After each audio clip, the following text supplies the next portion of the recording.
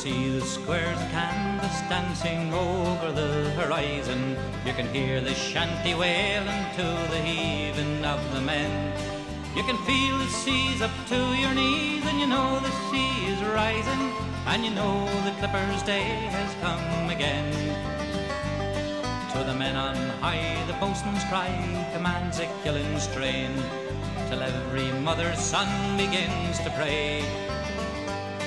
With a hearty shout she comes about and she heads into the rain. And the ship has never seen a better day.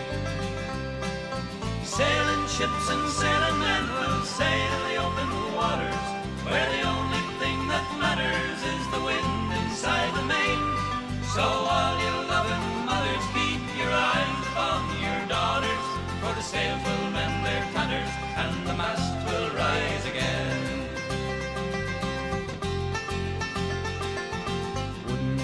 and human dreams are all that make her go, and the magic of the wind upon her sail.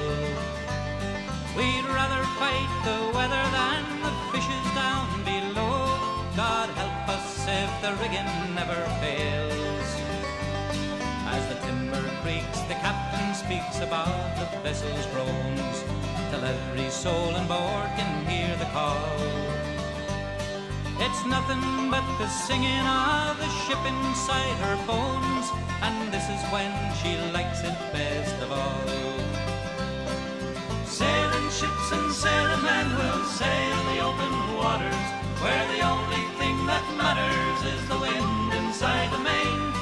So all you loving mothers, keep your eyes upon your daughters, for the sails will mend their tatters and the mast will rise again. Where the current goes, the clipper's nose is ploughing fields of green. Where fortune takes the crews, we wish them well. Where men could be lost at sea is somewhere in between the regions of the heaven and the hell. Where the eastern harbors and the California shore. If you set your mind to see them, then you can. As you count each mast go sailing past you prouder than before, then you know the Clipper's day has come again. Sailing ships and sailing men will sail the open waters, where the only thing that matters is the wind inside the main. So all your loving mothers, keep your eyes upon your daughters, for the sails will mend their tatters and the mast will rise again ships sailing men will sail the open waters,